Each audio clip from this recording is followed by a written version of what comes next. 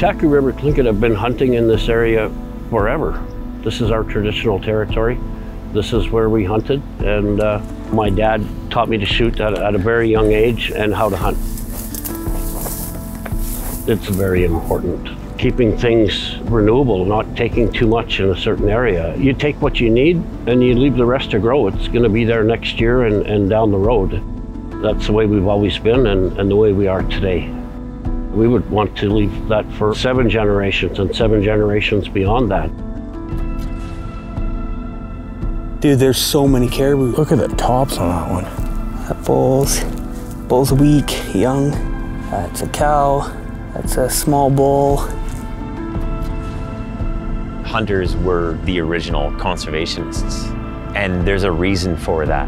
When we talk about concepts like stewardship and hunters being the original stewards of the land, when you're out there and you're the eyes and the ears on the land, and you develop that passion and that, that deep connection with the land and the animals that travel the land,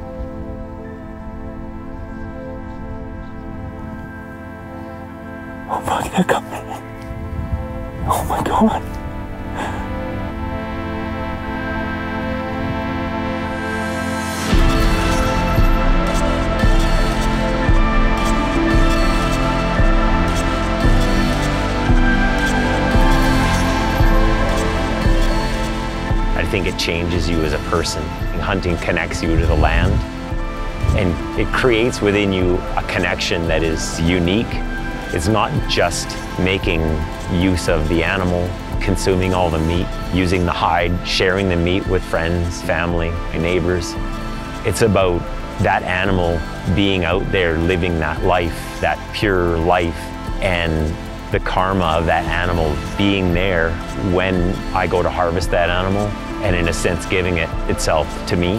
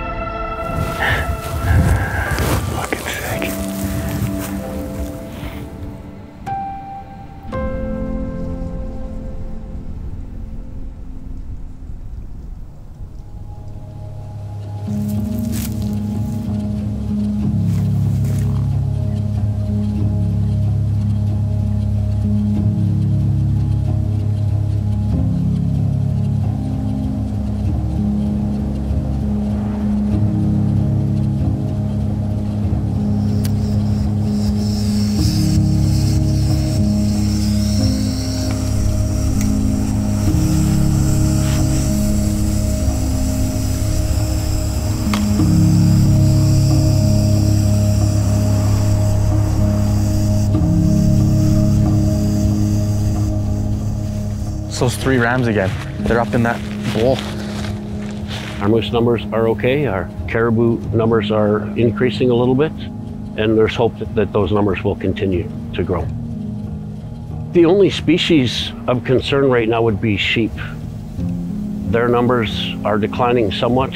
Near as we can tell, that's climate change, and that is uh, over the last couple of winters, there's been an increase in the snowfall, which makes the food difficult for them to get at, and we suspect that uh, the mortality rate is because they can't get enough food over the winter.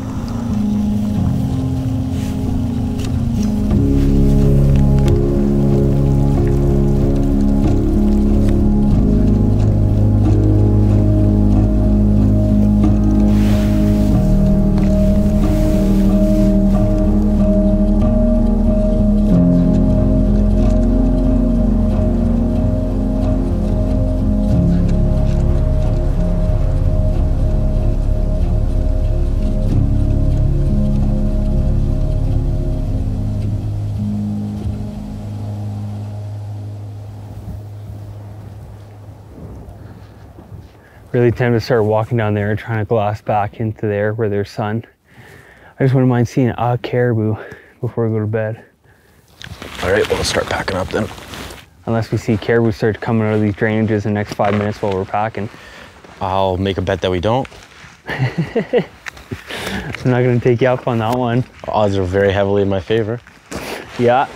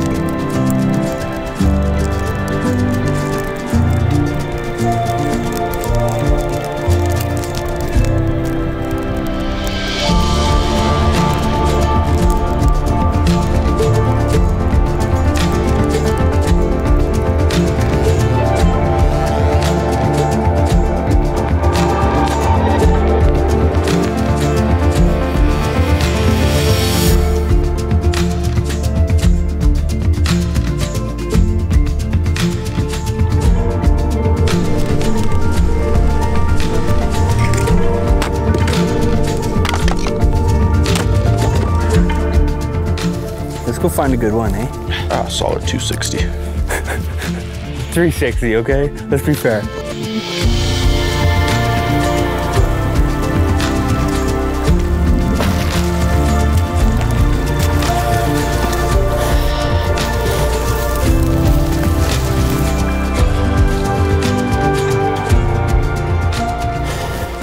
It's pretty new. It's not steaming. It's one of them vegan ones Oh. downtown. Yeah? Just eating grass. He's gonna be mighty upset that we're disrupting all this bush to eat then. I know, man.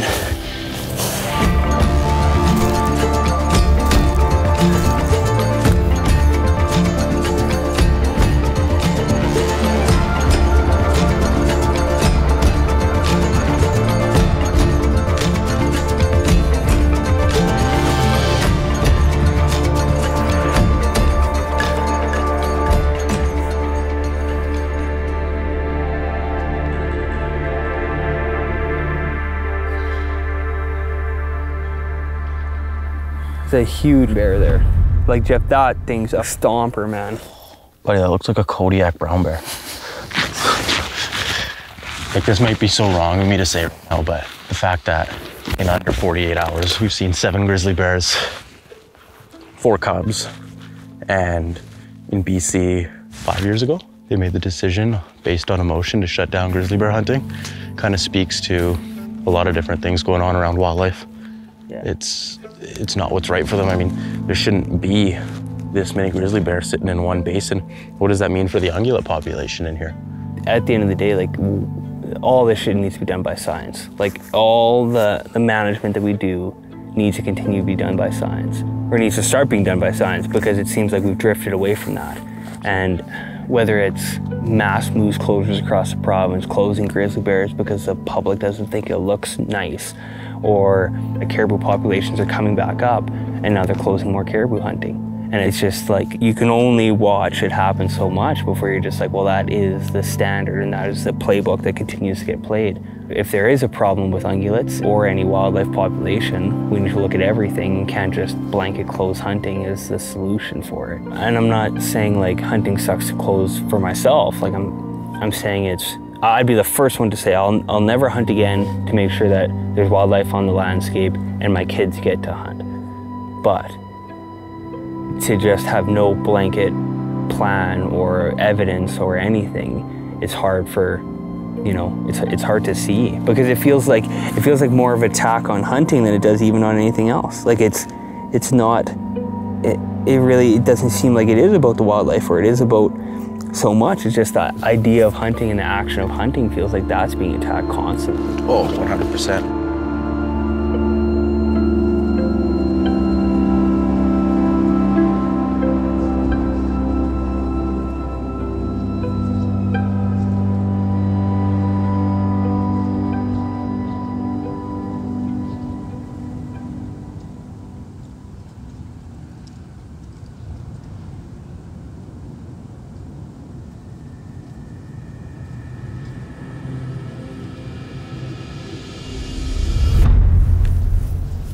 Oh my god, look at the tops on this bull, Tanner. I can see from here, man. Dude, he's so wide. That thing's ginormous. Okay, so I'm gonna just drop down to the creek, run that creek straight up to that gravel bar. Because what do you think that gravel bar is to him? 300. Distance, 300. But then So- as you get to the gravel bar, check your wind because the wind's blowing all up right now. Mm-hmm. So I'd actually go up over the gravel bar because you're going to be a little bit higher than them. And then I think there's going to be a little bit of like a drop in the ground there. Mm-hmm. As soon as you clear that gravel bar, you're going to be at the same elevation as him. Okay. And then you're going to drop in and then come up and you should be within 150 of him there. And if he changes his position, I'll tell you. But he's just sitting there feeding right now. Okay, we're gonna groove then. We got going up like an hour at daylight, so. Okay, buddy. be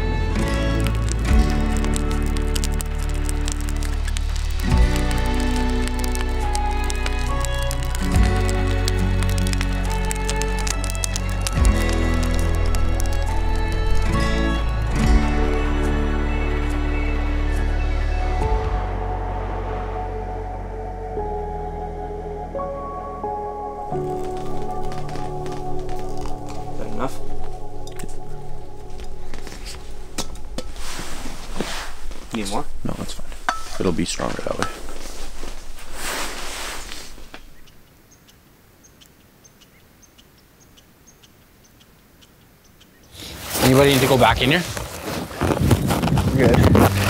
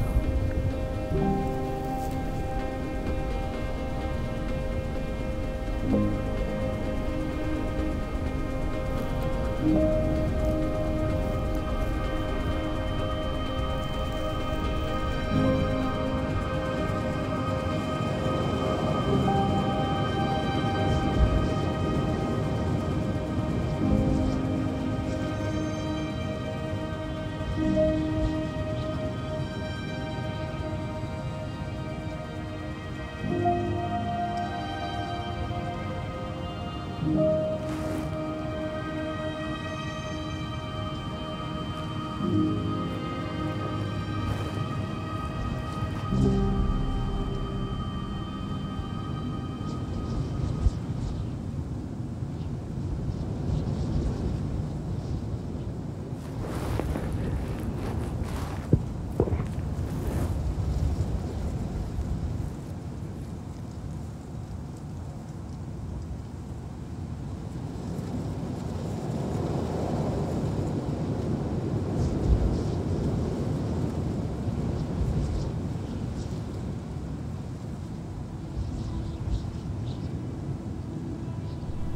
Big one? Yeah, that's that ball.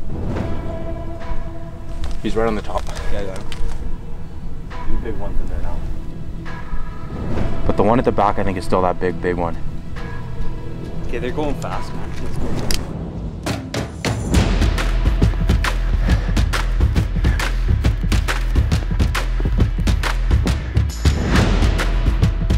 There's still 500.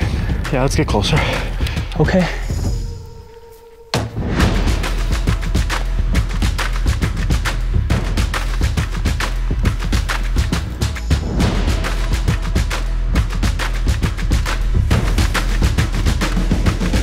Here, cut straight hard up this depression and bounce right up right there. Okay, let's boogie right.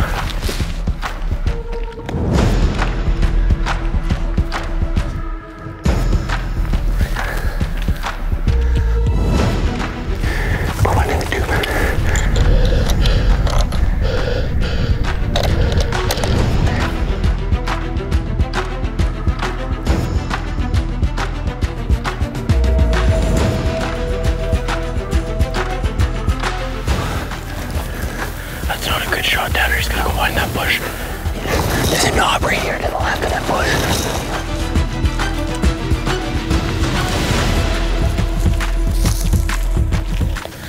Oh my god, he's right there. I got no shot, Jeff. Give me, give me your rifle.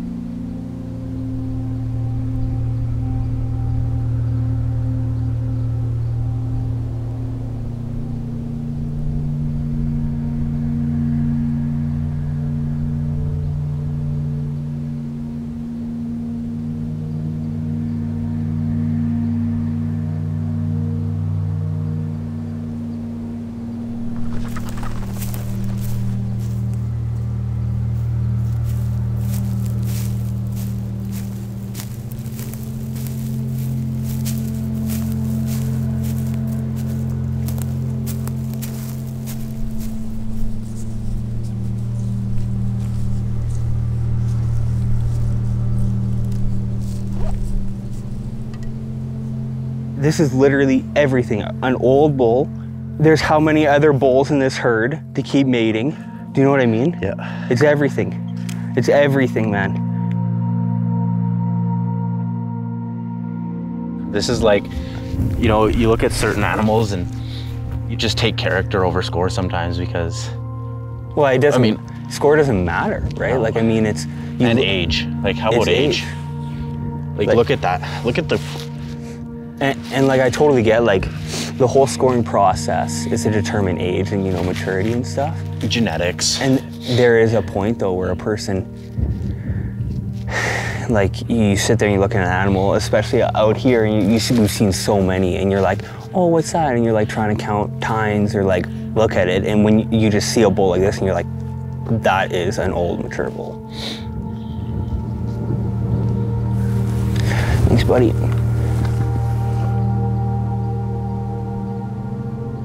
It's uh, amazing to know where your meat comes from, and uh, you know the fact that the meat that's going to sustain us and our immediate family and our friends as well is uh, it's amazing. You know, it's it's why we do this. It's it's why being connected as a hunter on your landscape is so important. If more people understood where their meat came from, understood what it means to take an animal's life, what it means to hunt and harvest, whether you're harvesting crops or hunting animals or fishing on this land. If more people did it, there'd be a, I think there'd be a lot less waste in this world, a lot less neediness, and uh, more people would have better connection to the nature that they live in. And we're lucky as hunters that we get to do this. And it's, I think it's so important that, you know, we, we talked a lot about, or I talk a lot about, and so many people do about old age class animals, which some people see as trophies, but you're doing that because it's what's best for the herd and what's best for those animals. And as you can see, we're taking every ounce of meat that we're going to. And as amazing as the rack is or the trophy, um, everything right here is as big of a trophy. And this backstrap right here, that's gonna, it's gonna feed, feed a lot of people and feed ourselves. That's, that's a trophy. It's gonna feed us tonight, that's for sure. That it is.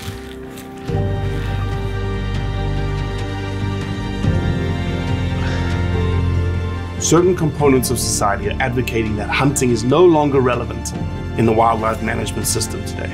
I would argue that there isn't a better time for hunting to be relevant. The conservation model of wildlife in today's society is more than ever tied to a value chain of relevance. Wildlife must have a purpose, going beyond a mere existence to a value add for people.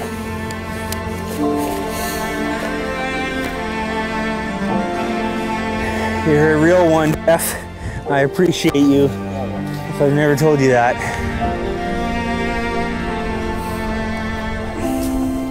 Yeah. Yep. Good. Good.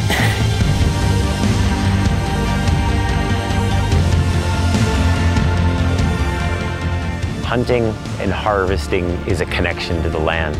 And for me, that reverence for that animal and that meat, the hide and the organs and all the parts of that meat, how we share it amongst our friends and our family is critically important, I think, to the world, to the ecosystem, to the way we view conservation and to this broader idea of how human beings are going to survive on this planet.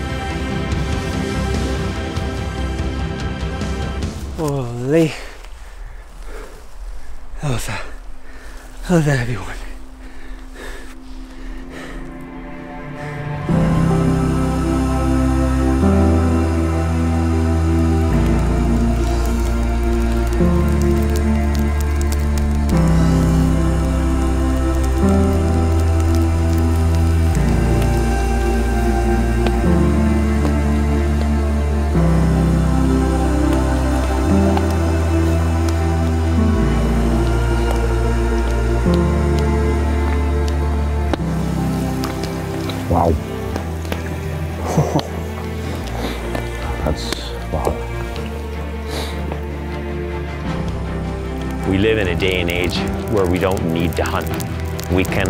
Whole lifetime without killing an animal, without catching a fish, killing it, and cleaning it and eating it. We can live a lifetime without getting any blood on our hands. But my question is, just because we can live that way, does that mean we should live that way?